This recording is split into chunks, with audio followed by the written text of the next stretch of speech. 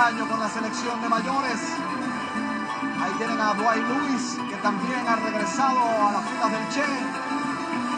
Por supuesto, el principal hombre, Néstor García, con John Cox, que fueron a buscarlo a Francia, a traerlo para que jugara con Venezuela.